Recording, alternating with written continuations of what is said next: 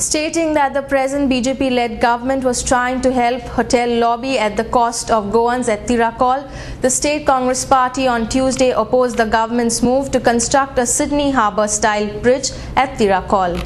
Addressing media persons at the party head office in Panjim, Congress spokesperson and Curtorim MLA Aleixo Reginaldo Lourenco said that such a bridge built by the state government would help those who were trying to construct a huge hotel in Tiracol of a Sydney harbour style bridge over Tiracol today. I think the this is I had in fact we brought it out to the public that this bridge is only a fraud.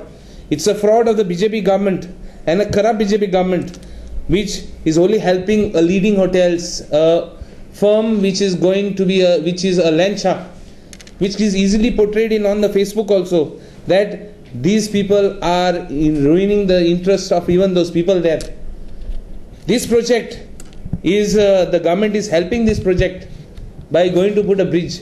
They have brought it to notice. Again, the government is. Uh, I, that's why we are calling the government corrupt. I will be with the people there. We have said that our party will be the, will be with the people to oppose that bridge. Though there is pressure on everybody there to see that uh, that uh, by the ruling party to see that nothing that uh, whoever is opposing is been cowed down. Lourenco congratulated Digvijay Singh, Luizinho Faleiro, Girish Chodankar and Shantaram Naik for having been appointed in various positions in the All India Congress Committee. And I think he has been specially given the task. And uh, it shows the interest the High Command has for our Goa state.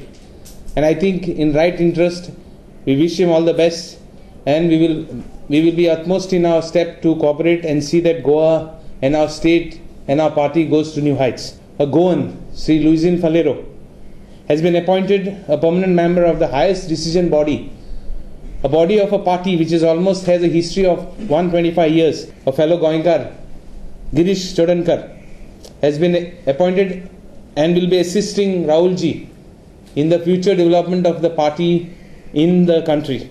Our Shantaram, a good friend of ours, and not only that, who has been vocal on issues of state of Goa in parliament, not only as a Goinkar but as a true congressman and spirit which he has also will, is appointed to assist Mr. Digvijay Singh.